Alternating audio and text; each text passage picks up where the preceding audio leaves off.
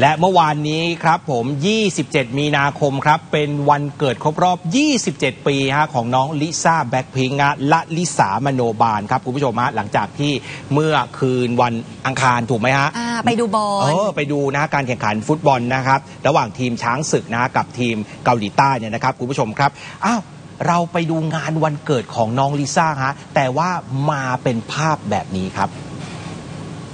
นี่ครับคุณผู้ชมฮะ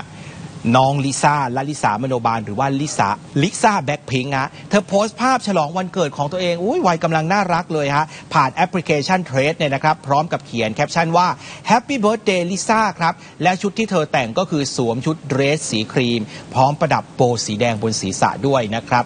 แล้วก็มีเค้กสวยๆ หลากหลายสไตล์นี่แบบนี้เลยนะครับผมนอกจากนี้ก็มีภาพอีกชุดหนึ่งครับเป็นภาพที่ลิซ่าเนี่ยใส่เดรสสีชมพูหวาน พร้อมกับสวมโบสีแดงเนี่ยแหละฮะแล้วก็ถ่ายคู่กับลูกโป่ง earth tone แบบนี้เนี่ยแหละ